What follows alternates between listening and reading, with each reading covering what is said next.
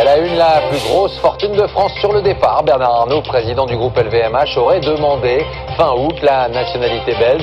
Ça suffit, ces gens sont des parasites. Cet homme n'a qu'une obsession, c'est de démanteler cette entreprise. Vous avez quand même euh, supprimé euh, combien? 8000 emplois?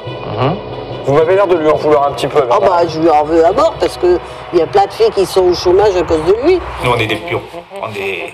On a travaillé, on a été payé, c'est tout maintenant. Quand les stars elles chantent. Ça n'existe plus, c'est pour lui, c'est fini. Mais qu'est-ce qui reste de Bernard Arnault ici? Rien, rien, rien, rien. Je regarde, c'est ça la preuve. Comment vous faites pour vivre avec 3 euros Et ben par mois mange pas. Mange pas. Pardon? On mange Les pas. rois. Eh ben on va se faire vos porte-paroles. Bonjour. On aurait voulu monter à l'étage de LVMH, s'il vous plaît. Alors, accrochez.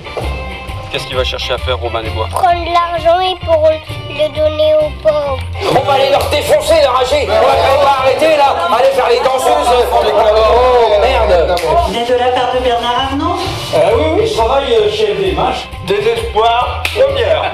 Si vous ne payez pas, je fais une descente à Paris.